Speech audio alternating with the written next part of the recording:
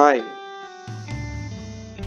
Click the link in the description of this video to visit our new channel 2 Minute Doc to learn about various drugs and diseases in just 2 minutes. Welcome to MedVids Made Simple. We're gonna hit 10,000 subscribers very soon, so if you haven't subscribed already, hit the subscribe button right now to join the family of 10,000 medicos.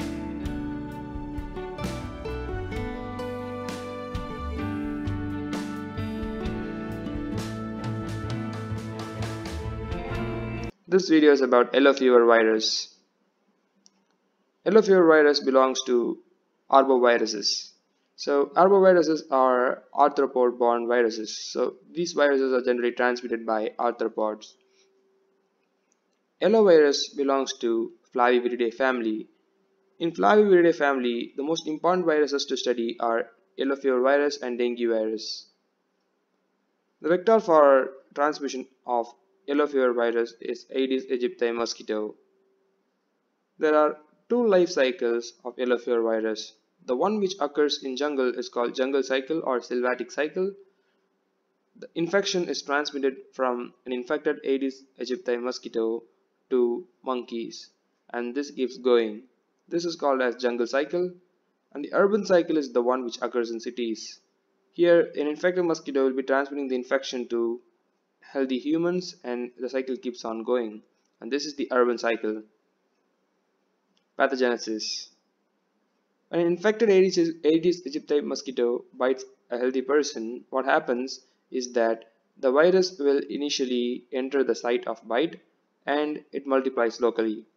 And then it spreads to the bloodstream of the patient and that is called as viremia then finally, it disseminates to distant organs like liver, kidney, and so many other organs, causing systemic manifestations. The clinical features. There's an initial extrinsic incubation period of 8 to 10 days. So what is this? Initially, consider a patient uh, who is infected with yellow fever virus. When a non-infected mosquito, which doesn't have any virus inside it, bites that infected person what happens is that this mosquito will get the virus from the uh, from the patient who is infected with yellow fever virus. So for 8 to 10 days, this mosquito will not be able to transmit the infection to any person whom it, it's gonna bite. Okay, so for 8 to 10 days, if this mosquito is gonna bite someone, they're not gonna get yellow fever virus infection. So that is why this period is called as extrinsic incubation period and remember that it, it lasts for 8 to 10 days. So once this mosquito crosses 8 to 10 days, what happens is that this mosquito will become infective and now if this mosquito bites some person, it is capable of transmitting yellow fever virus to that person. So consider if this mosquito has crossed 8 to 10 days uh, after getting infected, now it is capable of infecting further people now, once this mosquito bites a healthy individual, what happens is that initially there will be an incubation period of about 3 to 6 days in the patient where the virus will be multiplying silently without causing any manifestations in the patient. After this incubation period of about 3 to 6 days, there will be non-specific manifestations like fever, chills, myalgia, which is generalized body aches, and headache, vomiting, nausea, and all the non-specific symptoms. And this is the febrile phase. Many cases can be self-resolving and they resolve spontaneously, but some cases can progress to severe form and in severe cases there will be manifestations like hemorrhagic manifestations, hepatitis, renal failure, and platelet dysfunction can occur which can worsen the hemorrhagic manifestation occurring. Diagnosis can be done by serology where we detect antibodies and IgM antibodies are detected by ELISA and this is one of the commonly preferred method as it is non-invasive and it is actually an easy technique. Viral isolation can be done by various culture techniques but this is not so commonly preferred as it is time consuming. Molecular methods are very sensitive and specific.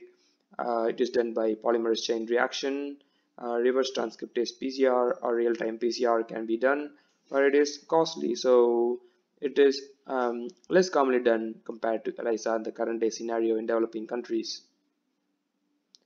there is no specific treatment for yellow fever virus infection. So the treatment is mostly symptomatic where we support the patient until the infection resolves by itself.